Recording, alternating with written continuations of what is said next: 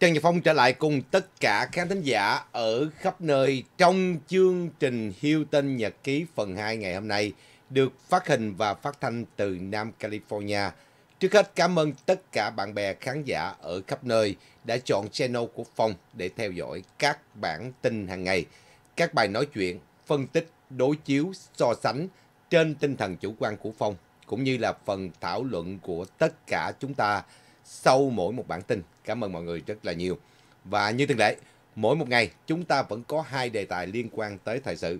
Và đề tài thứ hai vẫn là cái comment của tất cả khán thính giả về cái thế lực của Hoa Kỳ và của Trung Quốc. Thật sự, nếu mà so sánh một cách tận cùng thì Trung Quốc có đủ khả năng để đương đầu với Hoa Kỳ ở trong cái à, một thập niên tới hay không và thật sự thực lực của Trung Quốc như thế nào thì có lẽ đó sẽ là một cái bài phân tích trong ngày hôm nay của tôi để trả lời một à, số những thỏa đáng của quý vị về việc mà quý vị hỏi tôi là giữa Washington và Bắc Kinh thì thế lực nào được xem là đang là thế lực thống lãnh trên toàn cầu. Quý vị, để nói về điều này, chúng ta phải nhắc lại cái thời chiến tranh lạnh trước. Sau đệ nhị thế chiến thì thế giới chia là lưỡng cực. Trong đó một bên là khối tự do, một bên và khối cộng sản từ năm 1945 và đến năm 1989 tức là khoảng chừng 45 năm sau đó thì coi như toàn bộ khối cộng sản à, kể cả liên bang xô viết đều sụp đổ và không thể cạnh tranh nổi với hoa kỳ là lãnh đạo của khối đồng minh và thế giới tự do. Lý do tại sao khối cộng sản liên xô sụp đổ? Thứ nhất là họ gặp bế tắc trong vấn đề ý thức hệ. Thứ hai là cái đời sống của người dân ở các quốc gia thuộc khối cộng sản nghèo khó không thể phát triển nổi. Và tất cả nguồn lực đều tập trung vào vấn đề quân sự. Và quý vị, kết quả thì khối cộng sản của đông âu đã sụp đổ. Họ sụp đổ không phải vì cái ý thức hệ của tư bản tốt hơn cái ý thức hệ cộng sản, nhưng cái nhu cầu của người dân.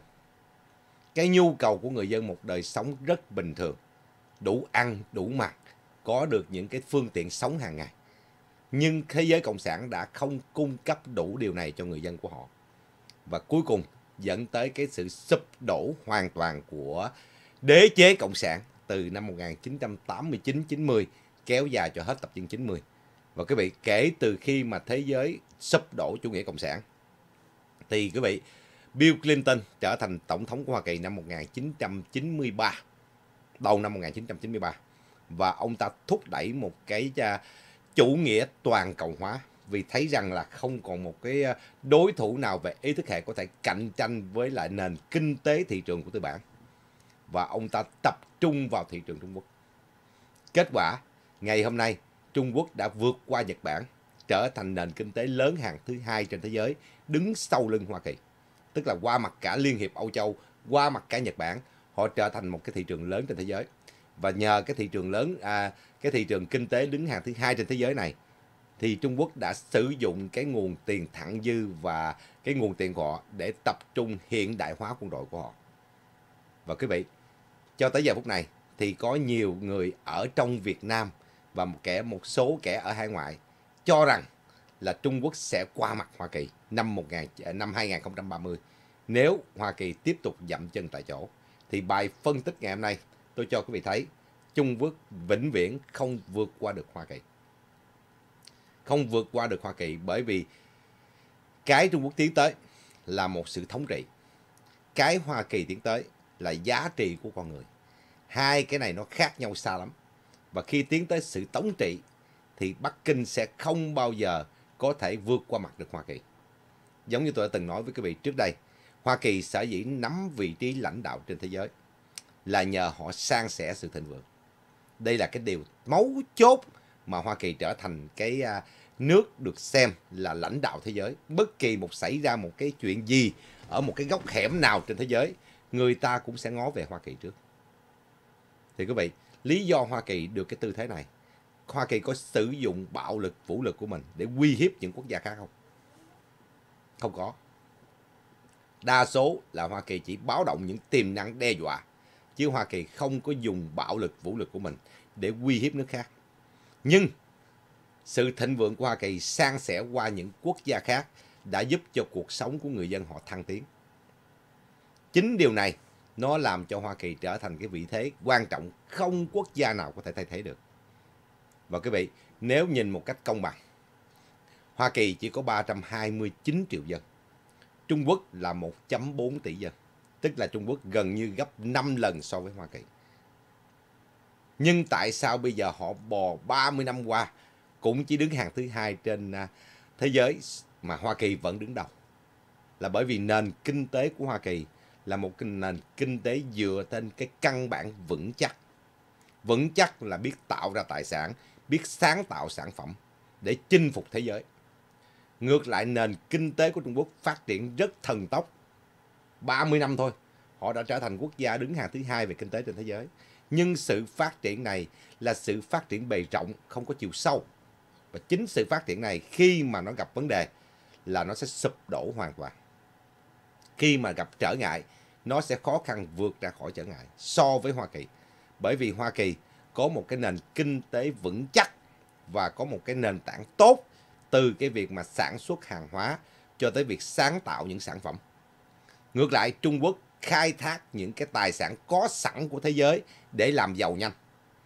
Những khoáng mỏ trên thế giới, những cái à, kỹ thuật có sẵn trên thế giới và họ thu gom nguyên liệu về về chế biến và và xuất cảng ra bên ngoài.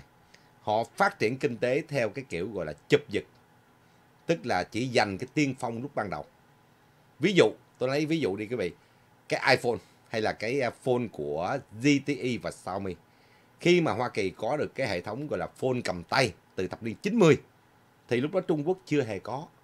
Trung Quốc mới bắt đầu mở cửa kinh tế thôi. Nhưng sau 30 năm thì cái số lượng bán của à, điện thoại của Trung Quốc từ ZTE qua tới Xiaomi và qua tới à, Huawei đó thì quý vị số lượng bán của họ gấp 3 lần hay gấp 4 lần so với Apple, so với Samsung của Nam Hàn tại vì họ có một cái số lượng à, dân số đông đảo áp đảo được. Nhưng quý vị họ sản xuất và bán được phone. Nhưng mà tất cả bản quyền của cái phone đó đều nằm ở trong tay của Apple và Samsung. Họ càng bán được thì Apple và càng Samsung lại càng hưởng lợi. Lý do là bởi vì những cái quyền phát minh đó nằm trong tay của Apple. Từ cái màn hình cho tới cái con chip điện tử cho tới cái uh, touch screen đều là sản phẩm trí tuệ của Apple và của Samsung. Do đó, những công ty của Trung Quốc về bề mặt họ bán con số lượng nhiều hơn. Nhưng mà về thực tế, họ phải trả lại cái tiền bản quyền cho những quốc gia này và cho những công ty này. Do đó, Trung Quốc không có một cái căn bản thật sự. Và quý vị còn nhớ cái vụ Huawei không? Khi mà ông Trump ra lệnh cho à, cho Google, tức là chủ nhân của cái hệ thống à, vận hành Android đó, là không được cung cấp dịch vụ cho phía Trung Quốc. Thì quý vị, ngay lập tức Huawei tới tới ngày hôm nay là từ chết tới bị thương. Khi mà công ty Google quyết định cho họ 6 tháng tới 1 năm để đi kiếm một cái hệ thống vận hành khác không thể sử dụng Android thì ngay lập tức Huawei đã bước vào cửa tử. Tới bây giờ quý vị, tất cả những cái buôn bán của Huawei được xem là thê thảm nhất. Kể cả cái phone là cái mặt hàng chủ lực của họ Mặc dù họ khoe khoang là ra được mạng lưới 5G, bla bla bla bla, những thiết bị về 5G. Nhưng cuối cùng quý vị, họ bị chết là bởi vì sao? Họ phát triển cái uh, tài chính của họ rất là dễ dàng nhờ biết vay mượn, mua đi bán lại. Tôi gọi là hình thức mua đi bán lại. Ngay cả bây giờ Trung Quốc chế tạo một số những xe điện. Nhưng mà kỹ thuật để mà uh, những cái động cơ máy và kỹ thuật máy vẫn mua của GM, vẫn mua của Boeing, vẫn mua của Mitsubishi của Nhật Bản. Bởi vì họ không có bản quyền phát minh về những cái động cơ máy này. Họ phải nhập cảng những cái động cơ máy này từ những quốc gia và từ những công ty nói trên. Rồi bắt đầu họ thiết kế đường dây điện chạy cho tới thiết kế ba cái uh, nối kết các cái đường ống dẫn xăng, ống dẫn dầu hay là ống dẫn điện. Rồi thiết kế lại cái hình ảnh bên ngoài hay là cái mẫu mã của chiếc xe. Thì nói là Trung Quốc sản xuất. Xe do Trung Quốc sản xuất. Nhưng thực tế những bộ phận ở trong xe đó đều là những cái bộ phận mua lại từ Hoa Kỳ. Tức là họ không có một cái căn bản sáng tạo nào hết. không có một cái căn bản sáng tạo nào hết. Do đó, quý vị, họ phát triển kinh tế nhìn bề ngoài thì quý vị thấy là họ là nền kinh tế lớn hàng thứ hai trên thế giới bởi vì căn cứ trên con số GDP, căn cứ trên con số xuất cảng của họ, ngay cả họ xuất cảng qua Mỹ. Quý vị biết báo cáo năm 2022 là cái mức thâm thủng mậu dịch là tới 381 tỷ. Con số được xem là rất cao, tức là họ xuất cảng qua Hoa Kỳ gấp 3 lần so với Hoa Kỳ xuất cảng vào họ. Thì cái mức bán của Hoa Kỳ không nhiều so với của Trung Quốc. Nhưng đó chỉ là cái thị trường về bề mặt mà thôi. Về bề mặt tức là nhìn thấy con số, quý vị nhìn thấy tất cả những thông số thì có vẻ như Trung Quốc sắp sửa qua mặt Hoa Kỳ. Nhưng nếu mà chúng ta phân tích sâu vấn đề, quý vị, họ không vượt được qua Hoa Kỳ dù chỉ là à, một cái phần nào bởi vì nền tảng kinh tế của họ dựa trên tảng băng. Họ xây dựng cái nền kinh tế mạnh là trên tảng băng. Tại vì họ không có cái foundation ở dưới. Họ không có cái cái, cái nền tảng nằm ở dưới. Cho nên khi mà băng tan, khi mà bão đánh vào thì toàn bộ nền kinh tế này sụp đổ hết.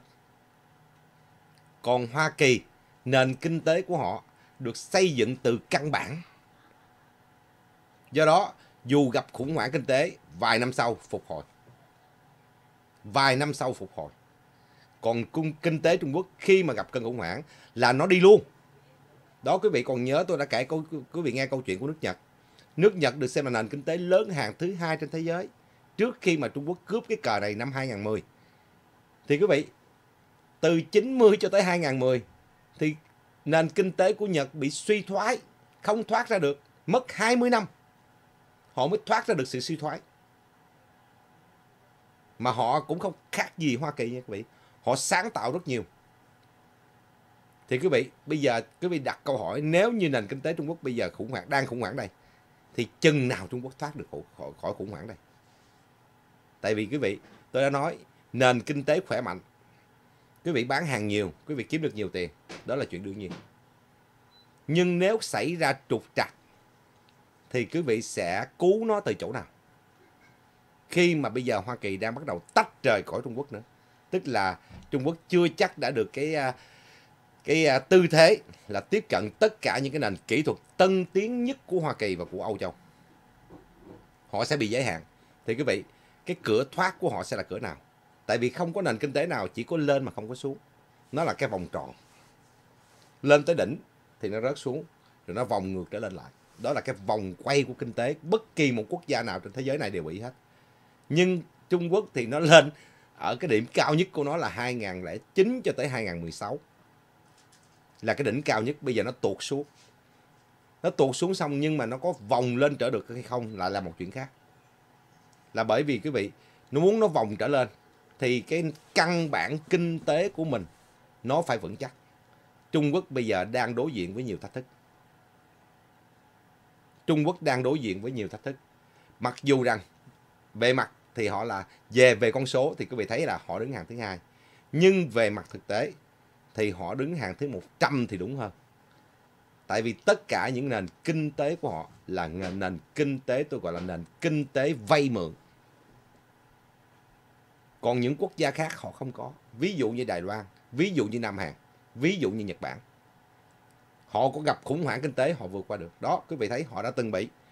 Nhưng mà Trung Quốc chưa bị. Trung Quốc từ lúc mở cửa kinh tế cho tới bây giờ phát triển 30 năm qua chưa hề bị khủng hoảng kinh tế. Họ không có kinh nghiệm. Thứ nhất, thứ hai, nền kinh tế vay mượn.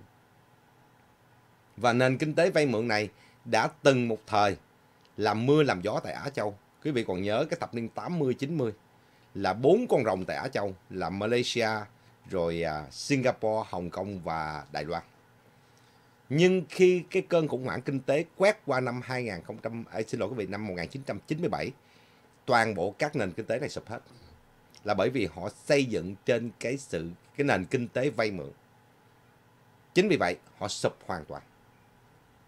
Và sau đó họ bắt đầu nhìn thấy, thấy được cái nền kinh tế không thể phát triển theo kiểu bong bóng. Họ phải phát triển từng bước chậm vững chắc.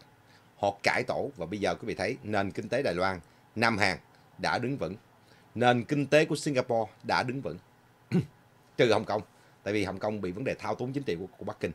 Thì quý vị, rõ ràng là xây dựng kinh tế trên cái bong bóng khi mà cái bong bóng nó nổ một cái là tan nát nền kinh tế Trung Quốc đang được xây dựng trên điểm này.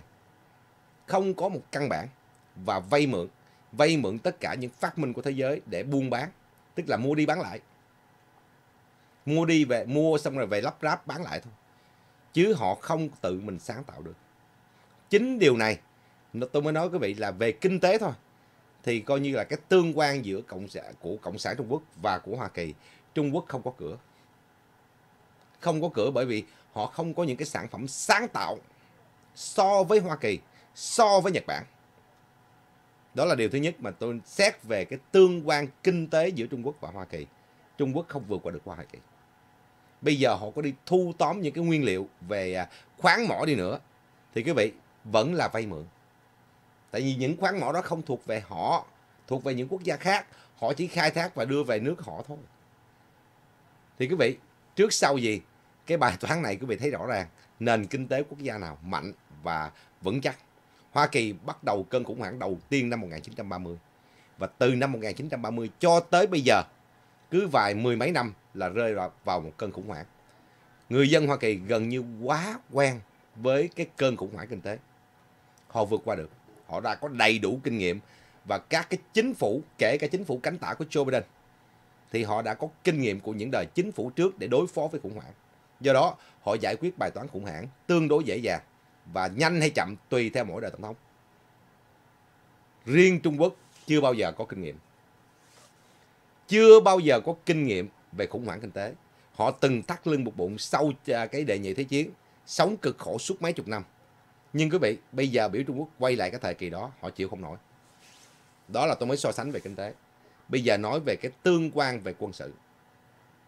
Tương quan về quân sự thì Trung Quốc bây giờ nếu xét về con số thì họ hơn hẳn Hoa Kỳ. Lực lượng binh sĩ của họ đông nhất thế giới. Các cái tàu chiến của họ nhiều hơn Hoa Kỳ. Các cái uh, ngoại trừ cái vấn đề nguyên tử ra thôi, họ không bằng thôi. Còn tất cả những cái loại vũ khí khác họ đều có con số hơn cả Hoa Kỳ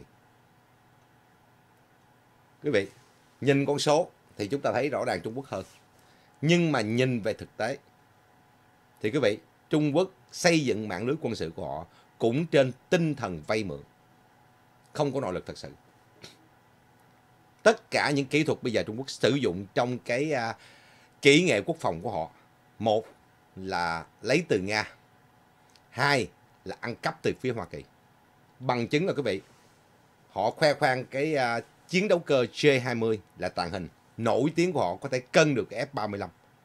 Như vậy, ai điều khiển những chiến đấu cơ này?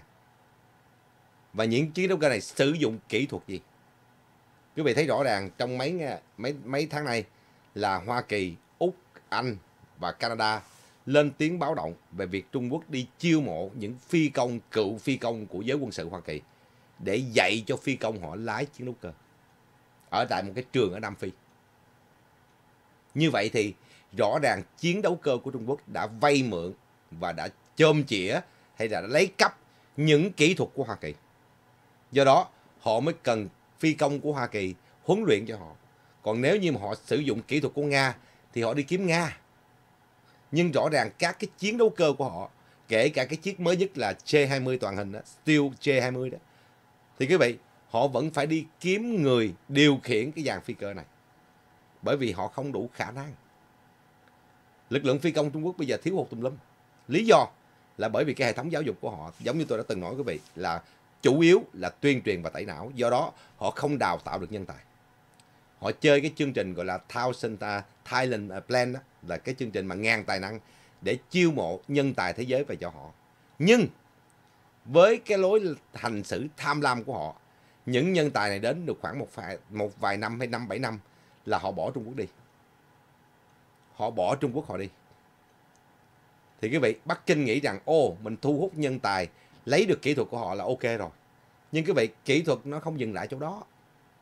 Hôm nay quý vị lấy được cái kỹ thuật này, 5 năm sau kỹ thuật này đã lỗi thời. Nhưng 5 năm sau, thế giới đi vào kỹ thuật mới, liệu quý vị có lấy được không? Không. Do đó, Bắc Kinh dùng cái chương trình này để để mà tìm cách gọi là thu hút nhân tài hay có nói một cách khác là chiêu mộ những nhân tài về các lĩnh vực khoa học kỹ thuật trên thế giới tới làm việc cho Bắc Kinh. Nhưng tới ngày hôm nay quý vị thấy rồi đó. Tại vì cái lối hành xử của Bắc Kinh khiến cho người ta sợ hãi và sự tham lam của họ, khiến cho nhiều nhân tài thế giới sợ hãi. Và bây giờ cộng thêm các luật của các quốc gia nghiêm cấm chuyện này nữa. Coi như là Trung Quốc bị bế tắc đường rồi. Và thứ hai, lực lượng quân sự Trung Quốc đông. Nhưng điều khiển những cái à, thiết bị điện tử và điều khiển những cái à, vũ khí mới này, liệu kinh nghiệm họ có được bao nhiêu? Và kinh nghiệm chiến trường của họ có được bao nhiêu so với Hoa Kỳ? Hoa Kỳ tôi có thể nói tạm thời từ cái chiến tranh Việt Nam chấm dứt kéo dài cho tới bây giờ gần như mỗi đời tổng thống đều tham can dự những cuộc chiến trên thế giới. Đặc biệt là từ thập niên 8, 90 tới bây giờ mỗi một đời tổng thống đều can dự các cuộc chiến. Ngay cả bây giờ tôi nói chuyện với các vị lực lượng Hoa Kỳ vẫn đang còn ở Iraq ở Syria ở Somalia ở Sudan. mặc dù rút ra khỏi Afghanistan. Rồi bây giờ quý vị, lực lượng Hoa Kỳ cũng đang có mặt tại Á Châu. Và họ có kinh nghiệm qua từng đời tổng thống. Họ hiểu rõ những cái bãi chiến trường, từ chiến trường trên biển, trên sa mạc, rừng rú, cho tới những cuộc chiến tại đô thị. Họ trải qua kinh nghiệm rất dày dặn. Trong khi Trung Quốc, từ năm 1979 sau cái cuộc xung đột vũ trang với lại Cộng sản Việt Nam ở biên giới, tới bây giờ họ có can dự được cái cuộc chiến nào trên thế giới đâu. Và kinh nghiệm đối phó cuộc chiến họ không có. Mà là thứ hai là cái chiến lược trong một cuộc chiến. Quý vị thấy Hoa Kỳ mỗi khi mà có một cuộc chiến, họ đều maximize tất cả những khả năng. Trong đó là đầu tiên hết là về mặt pháp lý, rồi về mặt dư luận. Cuối cùng là tới cái cuộc thực chiến ở ngoài chiến trường. Còn Trung Quốc bây giờ quý vị, họ chỉ khoe khoang nhiều, nhưng mà họ không thấy được cái chiến lược của Hoa Kỳ họ không thấy được là cái cách điều binh khiển tướng và chuẩn bị cho cuộc chiến như thế nào. Trước khi cuộc chiến xảy ra. Và khi cuộc chiến xảy ra thì nó có những cái biến hóa phải ứng phó như thế nào. Và kết thúc cuộc chiến thì bài toán sẽ được giải quyết ra sao. Trung Quốc chưa bao giờ nghĩ tới chuyện này. Còn Hoa Kỳ, mỗi một đời tổng thống, họ đều phải nghĩ tới cái giải pháp này. Họ phải đều nghĩ tới cái giải pháp làm cách nào để giải quyết những chuyện này do đó xét về chiều sâu về quân sự Trung Quốc không cân được với Hoa Kỳ. Mặc dù bây giờ họ khoe khoang về lượng vũ khí tôi trừ ra hai thứ. Thứ nhất là vũ khí nguyên tử thứ hai là hàng không mẫu hạm họ không bằng Hoa Kỳ. Nhưng mà chiến đấu cơ của họ rồi à, tàu chiến của họ vũ khí của họ lực lượng quân sự của họ thì bây giờ con số hơn hẳn Hoa Kỳ. Trừ có cái uh, hàng không mẫu hạm họ mới có được 3 chiếc thôi. Hoa Kỳ tới 19 chiếc mà trong đó có 11, 12 chiếc đang active nữa. Hay là đầu đạn nguyên tử họ có 350 350 cái đầu đạn siêu lô. Hoa Kỳ tới 3.800 mấy cái đầu đạn hơn họ gấp 10 lần. Trừ hai vấn đề này ra còn tất cả những vũ khí khác họ qua mặt Hoa Kỳ. Nhưng qua mặt về con số còn thực tế như thế nào giống như tôi nói phải tham dự cuộc chiến mới biết được. Thì quý vị về mặt quân sự Trung Quốc cân không nổi với Hoa Kỳ. Về mặt tư thế chính trị thì đúng ngày hôm nay Trung Quốc đã thao túng gần như cả một cái Liên Hiệp Quốc. Bởi vì Hoa Kỳ quý vị họ không chủ trương điêu linh với từng nước. Họ chủ trương đóng góp vào cái cơ chế này và họ tin rằng cái cơ chế này là cái cơ chế lớn nhất thế giới rồi.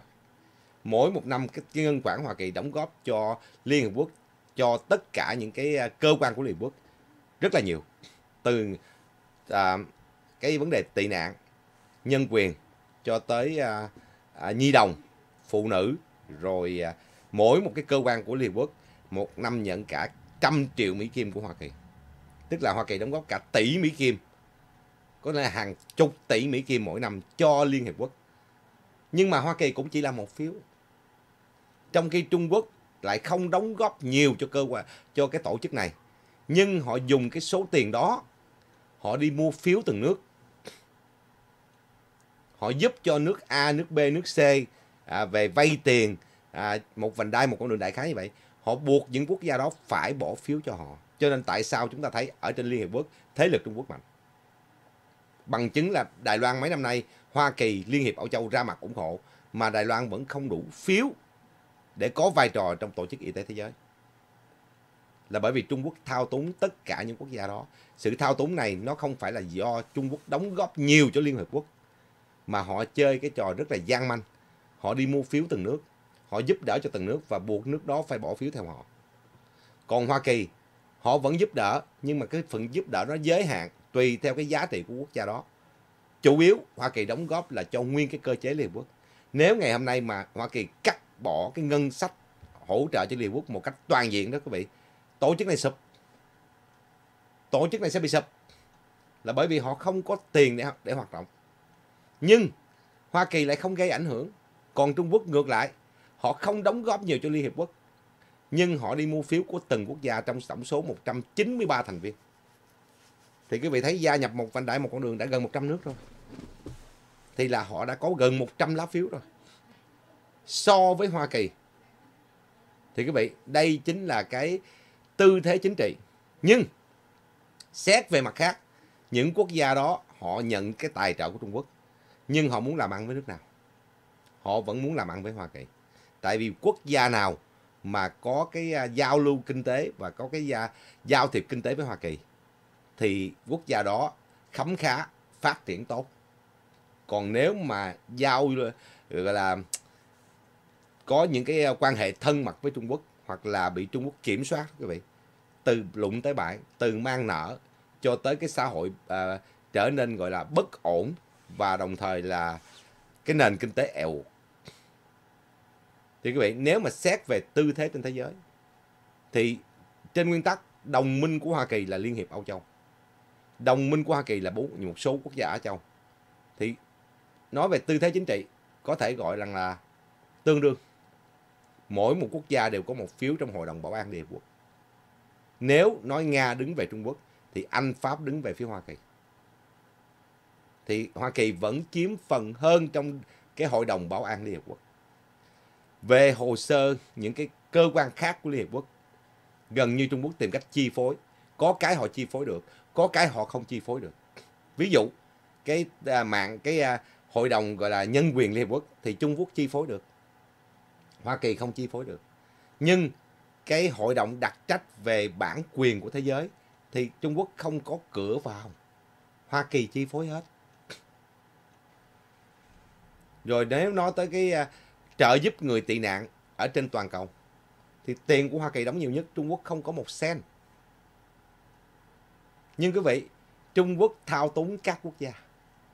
Họ không thao túng được Liên Hiệp Quốc, nhưng họ thao túng được quốc các quốc gia. Và cuối cùng thì tất cả đều phải đưa ra bỏ phiếu. Bỏ phiếu ở trên cái đại hội đồng Liên Hiệp Quốc. Thì quý vị, nếu mà xét về tư thế chính trị thì cuối cùng quý vị xảy ra bất kỳ một vấn đề nào trên thế giới, người ta đi kiếm ai? Người ta nghĩ tới quốc gia nào và phản ứng quốc gia nào trước? Trung Quốc trước hay Hoa Kỳ trước? Yes, người ta nghĩ tới Hoa Kỳ trước. Bây giờ xảy ra một cái vụ khủng bố ở một quốc gia nào đó, xảy ra một cái thiên tai ví dụ như ở Thổ Nhĩ Kỳ. Đầu tiên hết người ta ngó tới Hoa Kỳ. Thì quý vị thấy rồi đó, cái tư thế chính trị của Hoa Kỳ vẫn là cái tư thế lãnh đạo. Do đó, nếu mà xét về tương quan giữa đôi bên, Trung Quốc không có cửa với Hoa Kỳ. Dù là bây giờ, dù là 100 năm nữa. Tại vì quý vị, nhìn từ bề ngoài Hoa Kỳ cái nền chính trị phức tạp làm cho quý vị cảm thấy suy yếu.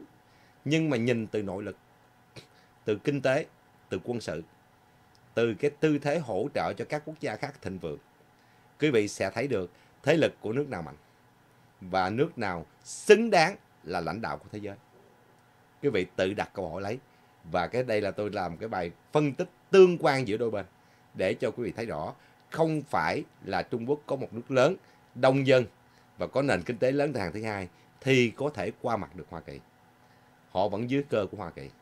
Bởi vì tất cả những sự phát triển hiện nay của họ không nằm ở trong cái căn bản từ dưới đi lên mà họ đang xây nhà trên tảng băng. Cảm ơn tất cả khán thính giả rất là nhiều cho bài nói chuyện này và Phong sẽ trở lại cùng tất cả khán thính giả ở khắp nơi trong chương trình kế tiếp của TNP Channel. Xin quý vị và các bạn nhớ đón nghe và theo dõi. Mến chào tất cả khán thính giả và chúng ta sẽ gặp lại sau. Bye bye.